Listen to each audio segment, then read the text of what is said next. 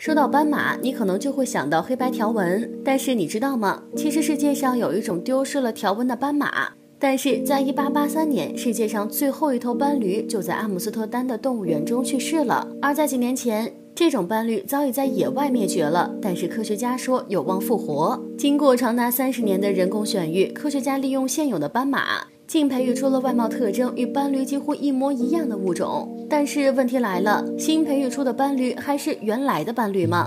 谁都不知道这个故事到最后是喜剧还是悲剧。现今世上还存在着三种斑马，分别为平原斑马、细纹斑马和山斑马。在这三种斑马中，平原斑马是分布最广的一种，也是我们最常见到的斑马。而斑驴其实是平原斑马的一个亚种。在斑驴灭绝的年代，物种的分类发展自然没有现今发展。而受限于技术，当时的科学家大都是根据动物的形态、习性以及皮毛等特征来分类。在伦敦动物园中，达尔文很可能亲眼见过斑驴的真容。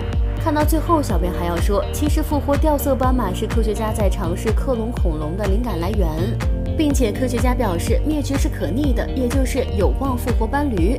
大家有没有发现，即使猫咪的爪？